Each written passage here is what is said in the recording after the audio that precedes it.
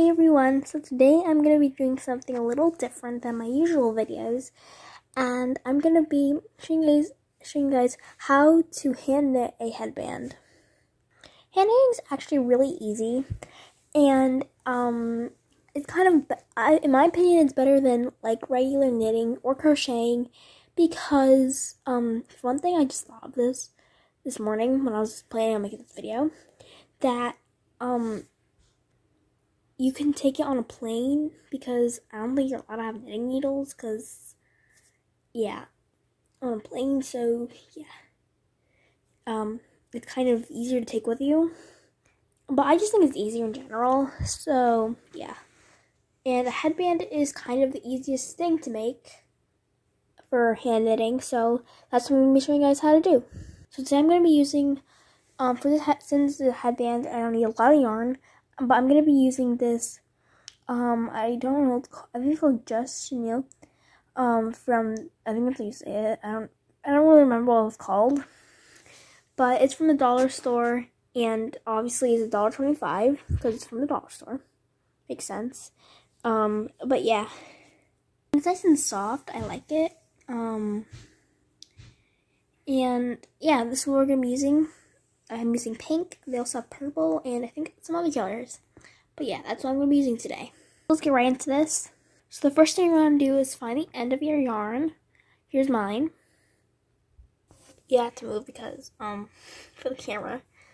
But yeah, so then we're going to take our yarn. If you're left-handed, I'm doing it the right-hand way because I'm right-handed. But if you're left-handed, just do it the opposite. Like, as you can see, I've got my yarn here I'm going to be making a loop. If you're left-handed, you'll put the yarn, I have my yarn on the right side, of my left side, I mean, sorry. But you're going to want to have your yarn on the left side of you and make your loop like this. Just opposite. So, so you can do it with your left hand. But yeah, so we're going to go like this. We're going to, like, take your yarn, you're going to leave a little, about a couple inches, depends on what doesn't, really matter. Um, sometimes for different projects you would make different lengths, but yeah. Yeah, we're just to do our loop like that, and then we're to take that loop right there, and if I can't do this, you're to take your yarn, go in, so, so you have the loop, then you go pull out the yarn and like that. So we're going to make our first chain and that means we're going to go, I like making mine small because you can make loose stitches or tight stitches like this. But yeah, so now I moved it on my right arm, my right finger I mean, and I'm just taking the yarn again and pulling it through the little loop. I'll do it again. So, putting it, I like putting my finger in. You take the yarn. Also, never, one more thing. Never work with the little, you always want to make sure um, you work with your working yarn, which is the one connected to the yarn ball thing. Never use the little strand there, the tail. So yeah, just take that put the yarn through the loop, pull it a little, and then you're going to keep doing this. Go put your yarn through, and like pull. It's pretty easy, and we're just going to keep doing this until you make a chain that can go wrap around the side of your head. Also, by the way, you can um you can make this into a bracelet like nice little, I don't know, bracelet.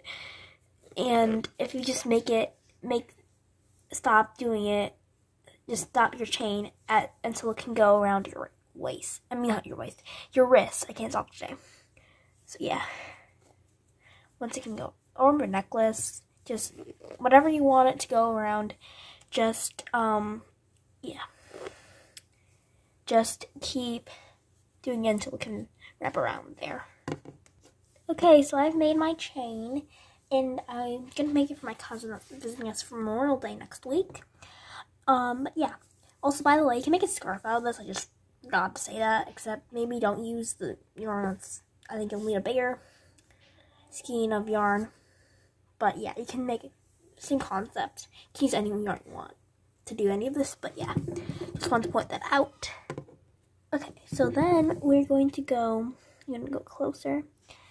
Um, alright, so this is, uh, so I just ended on this chain, to the chain, and I am taking this little, I'm going to go, see this is the chain that we're in, I'm make sure you pull that so it doesn't, so we're going to take this,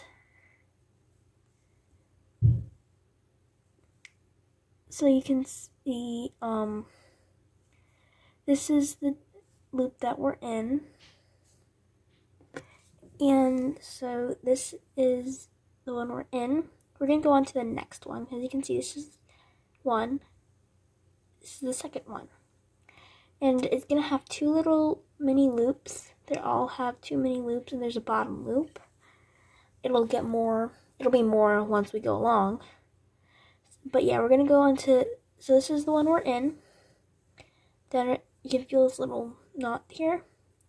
We're gonna go into this one and pull the yarn through. This is kind of what hand knitting is all about. So then we have two mini loops, not many, but yeah, two loops. And then after that, we're gonna pull the yarn through those. And we're gonna do that again with the next loop. So this is the one we're in. Then we're gonna go on to the next one, bring the yarn under, because we have two loops. You always want to make sure you have two loops instead of one, because then it will not work. Then we'll have two, we have two loops here. Then we go and pull the yarn through. Next one. Here's the one we're in. As you can see, we're making a nice little thick-ish design there. We're going on to the next one. We have two little things, loops here pull it through, and then we go pull the yarn through. And we're going to keep doing this until we get all the way to the end of the chain. Okay, so I just did the whole row, and yeah, we're going to, I can make this thicker, and I'm going to show you how to do that in a second, so yeah.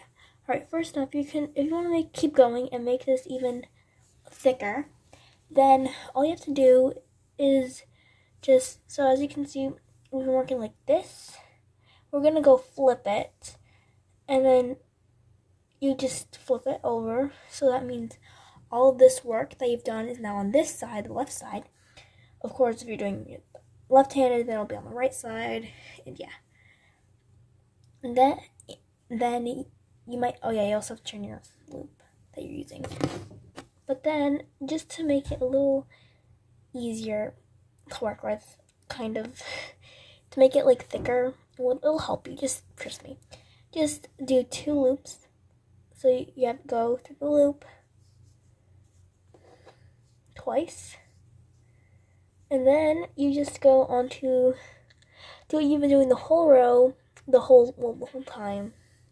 And then you just start the brand new row by going into the next loop, next, and you just keep, and then you just do the same thing over and over again. And yeah, and then once you get to the other side, do the same thing, flip the flip it, then go on to the um do the two loops and then keep going on. Okay, so now we're gonna be ending it and um I made it this thick and yeah. Also, by the way, if you want to make a scarf, then it's really easy to do that. Um, all you gotta do is just end it. So you're gonna want to cut off your yarn. Just leave, maybe leave a little space here. Um, and then you're gonna go make another loop. And then you're gonna go back in there. And it's gonna, since your thing is cut off, um, you're gonna go back into it. And just pull it through. And that'll make it, it'll end it. But yeah, I'm making a headband, so yeah. Make a headband and keep watching. Actually, hold on, never mind, my bad. You're actually doing the same thing, so yeah. Take your scissors and just cut. See, I made a loop. I pull the yarn through. And yeah, instead of like, I went like this. Yeah, I just showed you how to do it. And then I just pull it all the way through. So yeah. Okay, now we're going to connect the two so we can actually make a headband. So to do that, we're going to make, like, let's bring them together, two ends.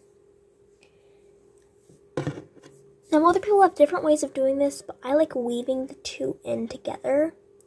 So, yeah, I'm just going to go in like this. Take, I have like the two strands of both ends, on both ends right there. And I'm going to take it and pull it through one of the holes. Like, these are both my tails. Um, the one from the beginning and one from the end. And I'm just going to weave them in together. Same thing, I can use both of these. Um, just so they can both connect. I'm going to bring it down to the bottom here and bring it through one of the holes. I'm going to do this until I run out of string and they're both connected. All hand knitting is pretty freestyle, but this part especially is just tie knots and connect it basically. There's really no right wrong way to do it as long as you tie the thing together. So yeah, I hope you guys like this video. And if you did, give it a thumbs up and subscribe for more fun. Also, by the way, you can cut these at the end once you're done weaving. But yeah, um, it looks pretty cute and nice and delicate. You can make a small one for a baby, and it'll look really cute. Yeah, and I hope you guys like this. Bye!